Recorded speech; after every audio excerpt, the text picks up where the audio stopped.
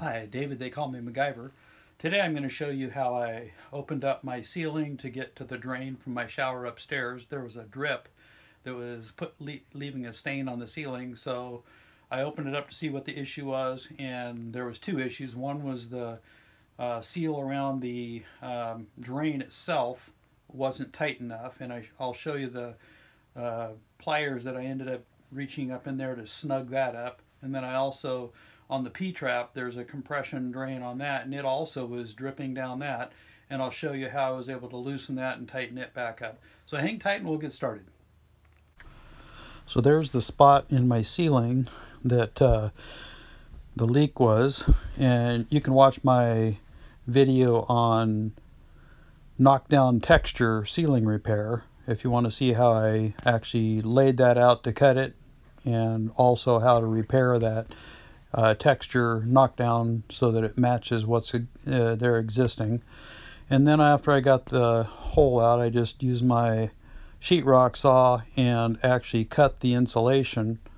I made sure there was nothing in the way, and then the sheetrock saw doesn't have real sharp blades on it. It uh, cuts sheetrock, but it doesn't cut other stuff very well unless you really saw on it.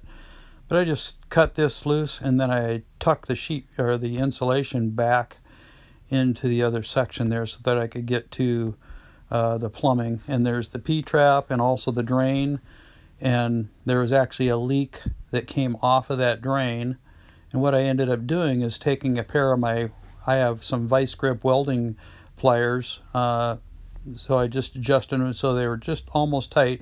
And I was able to put them up there to tighten that um, I had already tightened it when I stuck this up there to shoot the video, but just wanted to kind of show you how I put it up there.